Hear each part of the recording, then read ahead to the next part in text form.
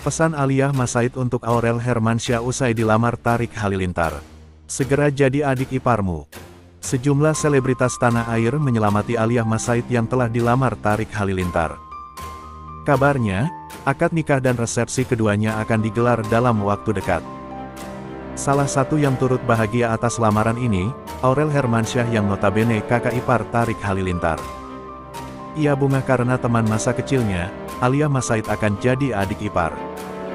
Putri Reza Artamevia pun terang-terangan mengingatkan Aurel Hermansyah bahwa sebentar lagi akan jadi adik iparnya. Alia Masaid menyampaikan pesan ini di medsos. Ini bermula saat Tarik Halilintar mengunggah 5 potret lamaran kasual di akun Instagram terverifikasi.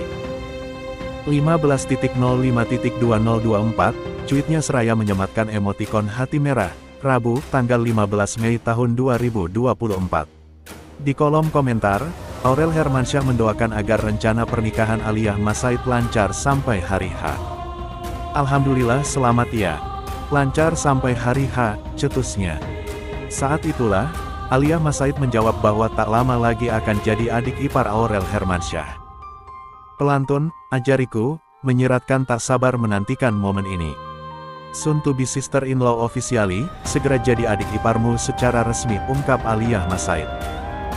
Tak hanya menyelamati di kolom komentar, Aurel Hermansyah mengunggah ulang potret Tarik Halilintar melamar pacar dengan box berisi cincin berlian. Ia mengenang momen pertemanan jadi pacaran. Selamat Tarik Halilintar, dari sahabatan jadi adik ipar at aliyah.masaid, lancar-lancar sampai hari haya. Seru Aurel Hermansyah bersama unggahan ini. Akhirnya, officially my soon to be sister-in-law, Aliyah Masaid merespons.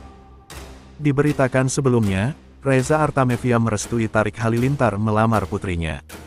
Pelantun, satu yang tak bisa lepas, mendoakan langkah Aliyah Masaid dan calon suami lancar hingga hari pernikahan tiba.